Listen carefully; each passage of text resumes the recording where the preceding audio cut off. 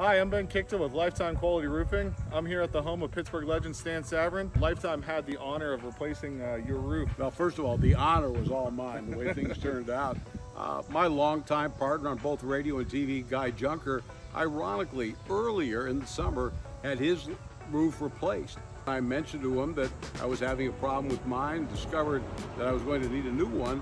Did he have any recommendation? He said, hey, the people who did my roof did a great job. I was really pleased. They're terrific. He gave me the name, he gave me the number, and so the next thing, I made a call. So uh, tell us about your experience, you know, from the initial inspection all the way through the installation of your new roof. How was everything? It was tremendous. I made a call within a couple of days. Someone came out to inspect it to assure me that I did indeed need a new roof. They assessed it. They gave me an estimate right away. Um, we talked, we agreed. They had a sample.